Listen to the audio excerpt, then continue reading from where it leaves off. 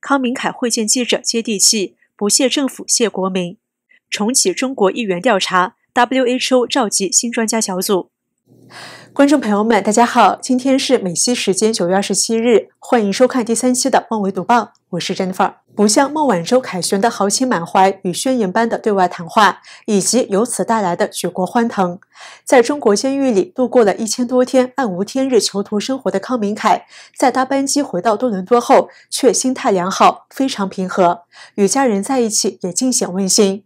尽管身为资深外交官，却也不像孟晚舟那样喜欢讲外交辞令，给人感到就是一个很接地气的人。康明凯星期日在妹妹波莎家中与妻子纳吉布拉一同接受《Global News》节目的专访。身穿浅色衬衣和蓝色牛仔裤的康明凯挂着微笑，精神看来不错。他一开枪即表达对国民的感谢，并不像孟晚舟发言感谢只感谢领导。康明凯说：“我想对所有加拿大人说，非常感谢你们的鼎力支持，感谢这么多人做出的一切努力，帮助斯帕福和我，让我们能够回家。”康明凯在受访时，双手一直紧握身旁的妻子和妹妹。他絮道：“当知道有这么多人留意和关心我们的情况，以及做出这一切的努力，协助我们度过了一段非常艰难的日子，这真的叫人非常感动。我们现在很开心，我很高兴回到本国和家人在一起。我真的很期待和朋友和亲人再次联系，然后走出去，好好欣赏加拿大所有的美丽事物。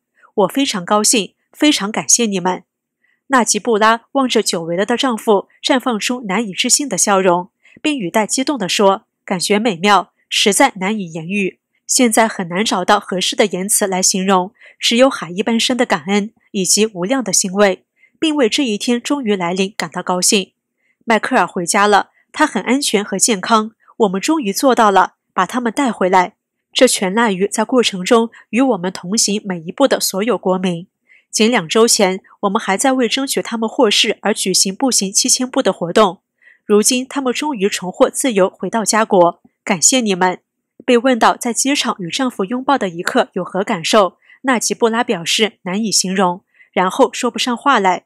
在旁的康明凯就巧妙地助他一把，那是难以形容的热情。我们就说到这里吧，谢谢。三人都笑起来。对于这两天将会如何与家人庆祝，康明凯表示。过去超过二十四小时以来，他只睡了两个小时，所以完全还未想到庆祝这些事。对新冠病毒来源的调查，由于中共方面与世界卫生组织的不配合，已形成了一项烂尾楼工程。《华尔街日报》报道，世界卫生组织正召集新的科学家团队，试图重启新冠疫情起源调查，但可能面临来自中共的阻力。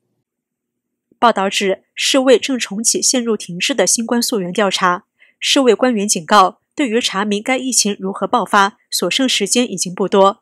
迄今为止，这场疫情已造成全球逾四百七十万人失去生命。世卫正召集由约二十名科学家组成的新团队，将委任他们在中国及其他地方寻找疫情起源的新证据。团队成员包括实验室安全专家、生物安全专家和遗传学家，以及深谙病毒如何从自然界扩散开来的动物疾病专家。根据世卫官员。这个新团队受命调查疫情起源可能性，包括新冠病毒是否可能源自实验室。这项假设尤其使中国感到愤怒。这个团队名为新病原起源科学咨询小组，将是常设委员会，将协助世卫调查未来爆发的疫情，以及确认造成新疾病出现风险增加的人类活动。该小组部分任务将是负责调查现今疫情起源。世卫官员表示，将在本周结束前选出新团队成员。但只要僵局仍然存在，迄今尚不清楚该团队是否能够派专家搭机前往中国，或在解决疫情起源调查方面取得重大进展。数月前，世卫领导的另一个团队曾赴新冠首例爆发地中国武汉市展开调查。该团队在最后报告中指出，在这次任务期间，中国科学家提供的数据不充分，无法回答关于疫情何时、何地及如何开始散播等关键问题。世卫当时挑选由大约十名外国专家组成的团队造访武汉，他们建议中国相应专家分析血库、检测农场工人及进一步详查最初可疑病例。中国至今仍未说明是否展开这类工作，而原本的世卫调查团队却已经解散。美国政府及其盟邦持续敦促世卫继续展开新冠疫情溯源调查，但中国抗拒，并主张任何其他新的调查应聚焦其他国家，并包括美国在内。以上就是本期《万维读报》的所有内容，感谢您的收看。如果您喜欢我们的节目，请点击屏幕右下方订阅我们频道，同时也欢迎您点赞、转发、分享我们的视频。我们下期再见。